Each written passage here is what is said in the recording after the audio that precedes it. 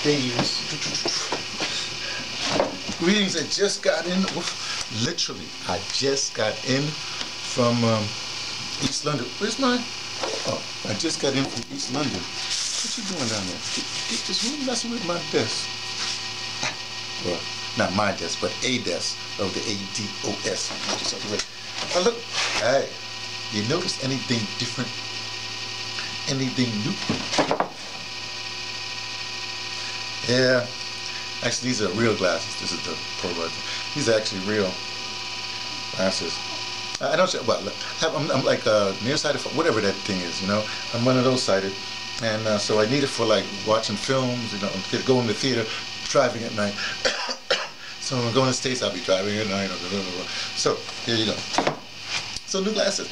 Uh, what did I want to say? Hey, there's something I want to say. What did I want to say? Oh, I was listening to a Black Authority, you know, this, this morning, this morning, whatever. And he brought up something so interesting, right? And that is, you know, the old heads, you know, the, the you know, the, the Clyburns and the da da, and the people, you know, the what, what they call the, you know, the boomer generations. They done fail so much. They just need to blah blah blah blah. But he came up with a term that I really really like. I, in fact, I, um, uh, he called it the olders. The olders got to go. Now let me let me be clear, right? Because I'm I'm well next week I'll be don't worry about that. Next week I'll be 69. But here's the thing that makes me a boomer, makes me not an older because I've I've been doing this stuff all for a long time. So I'm actually an elder. Now when I first came here, there was a, a, a guy at the radio station. Uh, that invited me here, uh, Bush Radio. he said to me one time, he said, Anthony, I'm your elder. And I looked at him. I was saying, you may be older than me. You know, you, you, might be my elder in, in life, you know, as far as age go. But as far as this craft goes, as far as radio goes, I'm your elder. And he's just set up. So there's the difference. If you if you actually done something da da da da da in that field, you're an elder in that field. Chronologically, you might be an older, but you know the way things are now, olders made that olders. Come on, unless you did something. Unless you really undid something, or better still, unless you're going to do something. Now it's not too late. In fact, you, you, it's almost like olders, they have an obligation. Not to jump in front and blah, blah. The obligation. Remember, all the boomer money, you should be supporting, supporting, supporting, that, that, that, that, that, that, that. There's a lot of things you can do. I say either you, look, either you become a spy, meaning that you don't have to be out front. You know, you get all, all kinds of information. Some of you have, some of you work for corporations. You can get all kinds of. Some of you work for Monsanto, whatever. You all been working for this for years. Da, da, da. You can slip stuff out on the down, go through three. You have to be a spy, or you die. I know it sounds severe. Now I, I, am to post. I'm to post this right away. Not right away. Probably tomorrow morning. Uh, but um, I did. I posted. Um, I recorded something about about my desk. You know, I revealed the desk or whatever have you. And uh, so I want to reveal just one thing to because I said something in that thing, and I want to be clear. Unfortunately, I have to move this camera. Maybe my wife will come back and help me. Get messing with the dog. This is what I want to show you. Okay, this is the poster, Chimurenga. See that word, Chimurenga? Okay, it's from a magazine, literary magazine here in South Africa, out of Cape Town, out of Cape Town. And uh, as you see, that's uh, that's Ziggy Marley, Marley reading uh, from the Bible. Black man reading. Get it? Okay. Anyway, so Chimurenga, that word, right? C H I M U R E N G A. It's what's called a Shona word. Shona is like people from Zimbabwe, northern, mainly Zimbabwe. Everybody comes from the Ndebele kind of thing. But the, the, the it's a see Shona, S H O N A, origins, right? Now the meaning is actually revolutionary struggle, right? But there's a second meaning of the war, I wrote it there, the war within.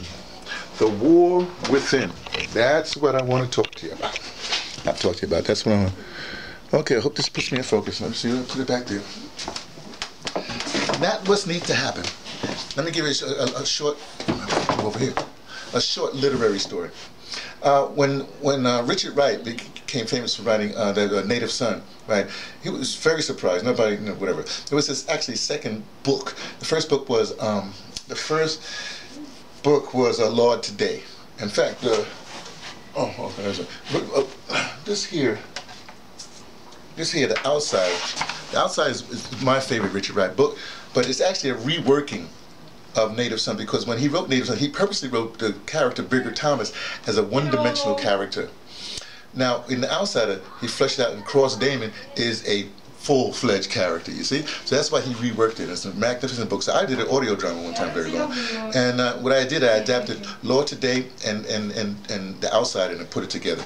Um, it was a very long uh, audio drama, no commercial break. Started Nuyorican Poets Cafe, ended up in WBAI. It took something like eight and a half hours or something like. No commercial break.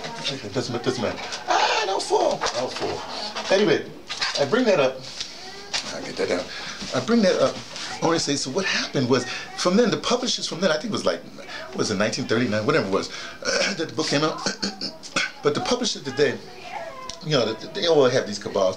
They actually wouldn't let any other black author through. They had to sort of be right in a Richard Wright mode. You know how they do today. You know, everybody copies one success and everybody. And so what happened is James Baldwin came along, you know, in the 50s when it was, and he basically attacked Richard Wright. Here's the thing. Richard did not respond. Because Richard knew that by, by, by when I say attack, you know, uh, Baldwin basically broke it open. So or, or, so Richard knew what it is, but he, there's nothing he could do. But somebody came along. Look at it this way: the old heads, whatever they are, whatever we've been, whatever we've been doing, trying reparation, whatever it is. Then the new, the, the, the new kids, the new kids, the, the, the next generation, two generations down, comes along, ADOS, uh, uh, uh, you know, uh, uh, Miss Yvette and, and, and Attorney Moore, uh, they come along. Now remember, they're still helped by Sandy Darity, you see. So what happens is they become the movers, they become shaping it. Sandy Darity just gives them the information. How are we going to disseminate it? They might talk about it. You see what I'm saying? So Sandy Darity is, I want to say, he's a spy. You see what I'm saying? He doesn't have to die. But a lot of us overheads, not us, not, not me, have to die. That's my because it's a war within right now. We have to straighten this thing out. Everybody right now, forget, uh, everybody's attacking everybody. Look, deal with your family first. That's what I got to do, you know. So anyway, that, that's, that's, I just want to tell you that. It just, it needs to be said because uh, it is a war within. This is just a short message from me, T, from Patterson's, with uh, new glasses. Taking a train to Tibet. Let you know what I only suspect. From ADAS of the ADOS. Look at that. My wife just wiped, uh, just washed the dog. Hey, Windy. Hey, Windy. Come here. Come here. You nice? Are you nice and clean? Are you nice and clean? I was at the pet, I was at the pet store today too. I got stuff for you. You know what I do. Oh, what's the matter? Uh oh, you're coughing? Uh, anybody got dewormer? I got a bunch of stuff for you. Anyway, I gotta say goodbye, people. And this, that's the ADOS. Stands for American Descendants of Chattel Slavery.